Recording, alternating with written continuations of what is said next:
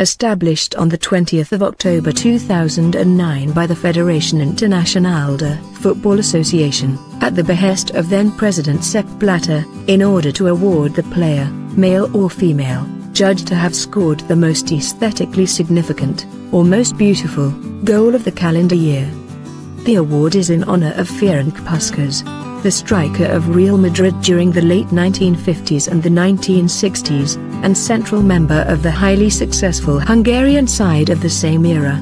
Puskás is widely considered by many to be the most powerful and prolific forward European football produced in First Division football, and scored a once world record of 84 goals in 85 internationals.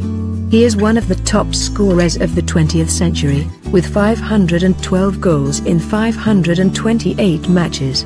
Those footballing greats who have left their mark on our history. Ferenc Puskás was not only a player with immense talent who won many honors, but also a remarkable man. FIFA is therefore delighted to pay tribute to him by dedicating this award to his memory, said Blatter at the inauguration of the award in Budapest.